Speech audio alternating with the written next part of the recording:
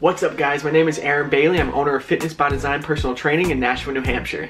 I just want to start by saying I hope all of your New Year's resolutions are going great. I also want to remind you that the Super Bowl is this weekend, like you didn't already know that. This means hanging out with your friends and family, cheering for your favorite team. It also means beers with your friends and family, endless amounts of chips, candy, and other junk food. Now, I don't want to be a Debbie Downer. I don't really even know who Debbie is. I just want to say don't let one fun night with your friends and family get in the way of your New Year's resolution.